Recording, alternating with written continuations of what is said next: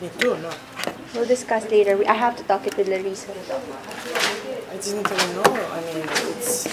I was ready for neurology. I told you. Yeah, but the thing is, we have to take it. The remediation should be taken the No, but same time with the rest, me.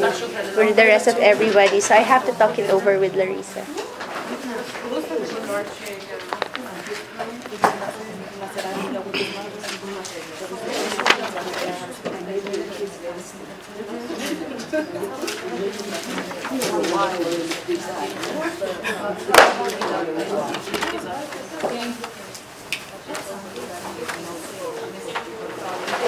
But I announced it yesterday. I talked to you before I left, and you told me to be ready for sensory and neurology, and then you told me I'll squeeze you somewhere. As soon as I got here, I got here on Sun- Sunday. I couldn't. I was studying for this test to be there. I was studying for neurology, and I read over there too. There is no way I couldn't do overnight fluids and electrolytes. I understand that, but you should be prepared of that, that you need to take three tests when you come back. But with that, since I have to talk it over with Larissa, I announced it at the end of the day, and I was telling you about the neurology. Uh, you know, I, what can I do? Nothing. Whatever. It is what it is. Oh, it's hers. Oh, yeah. The schedule was changed. The uh, the sheet I had for the test, it's totally different what is going on right now in the class. So, as what do you want? You want me to take? You want to take your schedule according to what you want, how how you want it to be? Is that what you No, I just want you to let me. So you give I know I'm. I'm, I'm giving you chances to take your test, even if the tests for remediations are already done. But I just told you I just need to talk to Larissa. I just need to talk to Larissa about these things so I would know where should it be placed at the right schedule because she usually gives me another schedule for remediation. I can just give you schedules without her knowing it because it has to be coinciding with the amount of remediation tests that I'm I actually understand that all I'm asking is so you give me a chance to say fluid electrolytes. That's it. When it's up to you. Yeah that's what I'm saying I need to talk it over with Larissa Okay, great. I just don't want to miss it.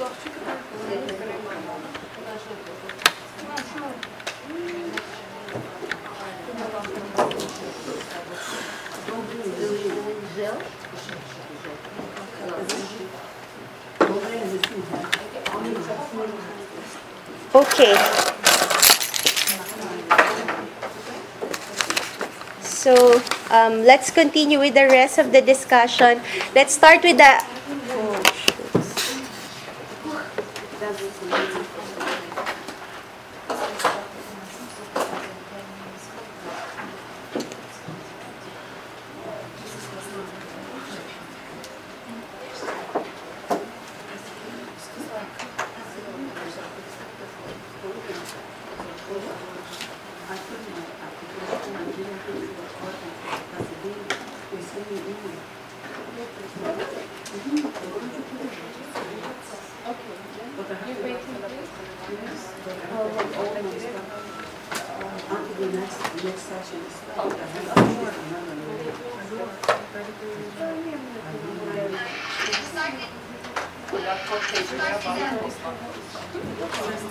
Okay, diagnostic test. Now, for the diagnostic test, the most routinary test that is done to determine um, the, to determine problems with the kidney or problems with the urinary system would be always the would be always your urinalysis or routine urinalysis. Now, the most basic test that i- the, the basic test that is usually done to determine problems with the urinary system will be your urinalysis. Now, the the word itself, urinalysis, is the analysis of your urine. This is the analysis of your urine. Now, to, as we have discussed yesterday, urine formation is done or the urine is formed with the use of three processes. The, the first process will be the process of filtration, followed by the process of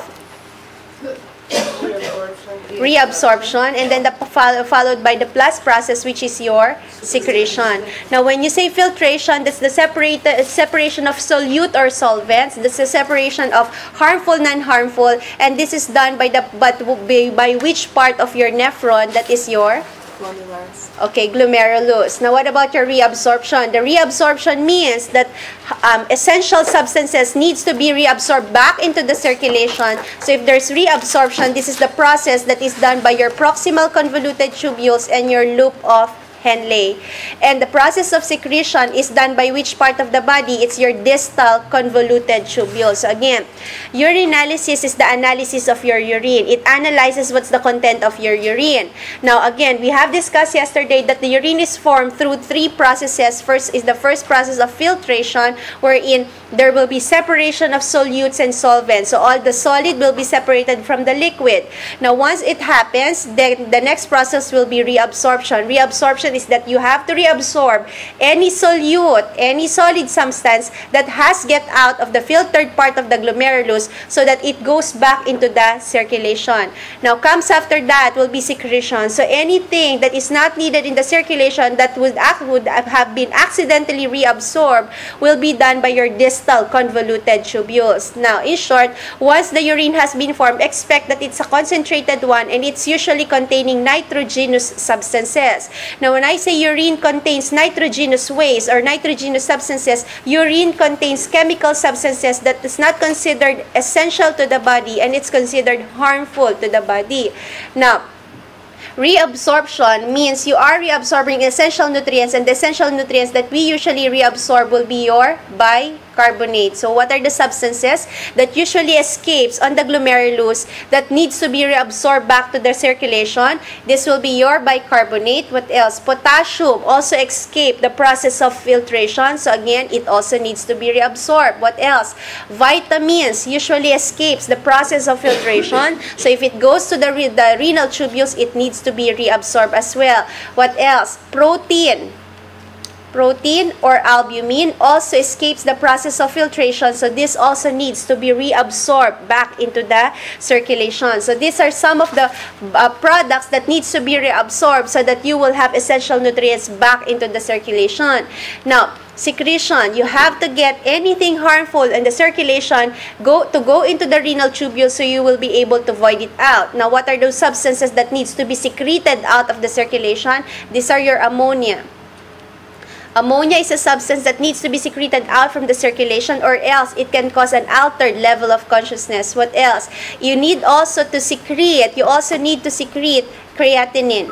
You also need to secrete creatinine. Now, what are these creatinine? These are creatinine are byproduct of the muscle destruction. Creatinine are byproduct of muscle destruction. And this also needs to be reabsorbed or this also needs to be secreted out from the circulation. Now, what else? You also need to secrete urea. Now, we have discussed from the previous topic what is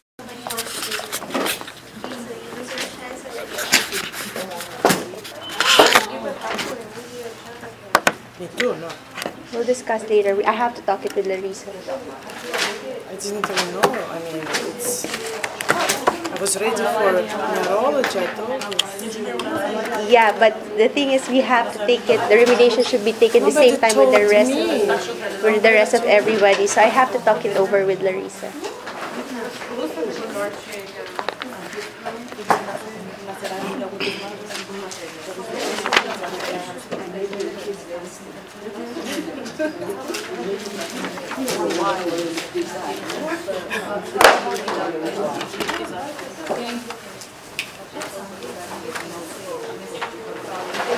But I announced it yesterday. I talked to you before I left, uh, and you told me to be ready for sensory and neurology, and then you told me I'll squeeze you somewhere. As soon as I got here, I got here on Sun- Sunday. I couldn't. I was studying for this test to be there. I was studying for neurology, and I read over there too. There is no way I couldn't do overnight fluids in electrolyte. I understand that, but you should be prepared of that, that you need to take three tests when you come back. But with that, since I have to talk it over with Larissa, I announced it at the end of the day, and I was telling you about the neurology. Uh, you know, I, what can I do? Nothing. Whatever. It is what it is. Please, What, what is that? Oh, it's hers. Battery what? Oh, yeah. The schedule was changed.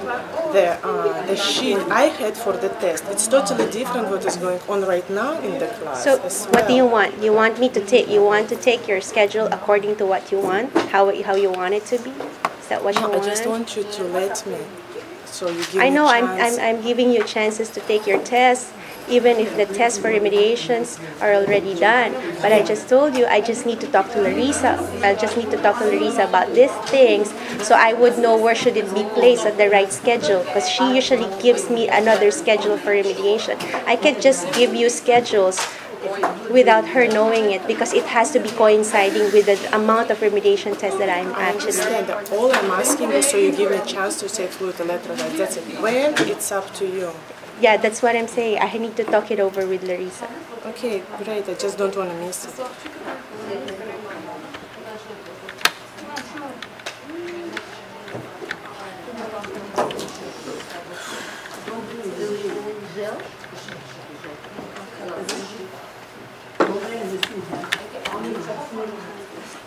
Okay. So um, let's continue with the rest of the discussion. Let's start with the.